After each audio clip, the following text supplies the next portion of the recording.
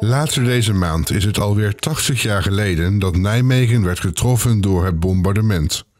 Ter gelegenheid hiervan heeft de Evangelische Omroep een documentaire gemaakt over deze dag in 1944 onder de naam De Middag van 44.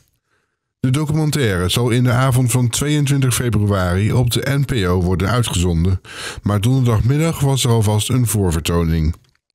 Speciaal voor de ooggetuigen van dit bombardement werd de documentaire getoond in de schepenhal van het Nijmeegse stadhuis.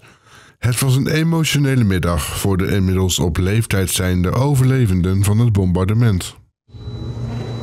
Het regent bommen in de wereld. En de mensen rouwen om de doden die daarbij vallen. Op mijn geboortegrond en op andere plekken op aarde. Buitengewoon indruk gemaakt. Ja, ik kom er zelf ook in voor. En uh, ja, alle gedachten komen er altijd boven toe nu. Hè. En nu komen hè, alle gedachten weer naar boven. Hoe is dat voor u dat alles weer zo terugkomt? Nou, ik sta ervan te kijken dat ik nog zoveel dingen kan herinneren. Want ik woon nog 95, het was 15 jaar toen in de oorlog. En uh, ik vind het een keurige documentaire. Ik vond het een uitstekende documentaire, ja. Ik, uh, wat ik goed vond was dat, het eigenlijk al, dat de getuigen continu aan het woord waren. Meestal is bij documentaire zijn de getuigen maar een klein onderdeel en is het gebeuren staat centraal met heel veel buitenstaan. Maar dit was echt gesproken door al die verschillende mensen. Ze zijn allemaal zo verschillend. Nou, ik ging er vrij open in. En mijn schoonzoon zei in de auto, ben je nerveus? Ik zei, nee. Ik zeg alleen een beetje spannend wat je te wachten staat. Want zoiets maak je niet iedere dag mee natuurlijk. Maar toen ik mezelf een paar keer gehoord had en in beeld had gehad...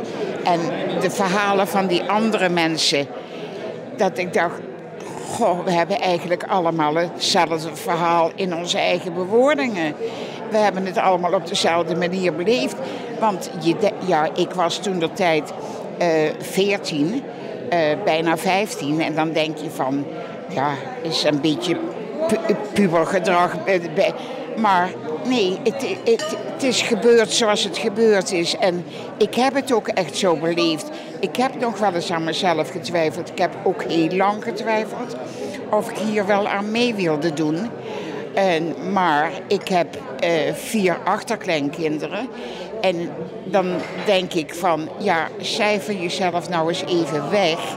En, uh, en, en realiseer je nou eens dat dit moet voor de toekomst bewaard blijven. Dit moet de geschiedenisboeken in. Want Nijmegen heeft zo'n verschrikkelijk groot litteken te verwerken gehad en nog steeds.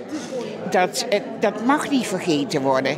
En waarom vindt u het belangrijk dat het nog verteld wordt? Dat, dat, dat de jeugd het weer weet hoe het was? Ja, hopen dat ze daar de lering uittrekken. Er is op een gegeven moment een jongen die zei tegen mij van... Ja, maar mevrouw, hoe, hoe komt nou oorlog? Nou ja, ik probeer altijd overal antwoord op te geven. Maar ik denk, ja, hoe moet ik dat aan, aan kinderen vertellen van 10, 14 jaar? Dus ik denk, wat moet ik nou zeggen? Ik denk, mijn ja, dan denk ik, zei, ja, ik zeg, moet je horen.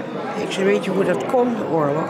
Als jij een vriendje hebt en die wordt niet meer zo aardig en dan maak je ruzie mee. En dat vriendje heeft ook een, een, een broertje en die is met het vriendje, die gaan tegen jou in. En jij pakt ook jouw, jouw broertje bij. En dan heb je al twee uh, verschillende mensen. En zo ontstaat oorlog.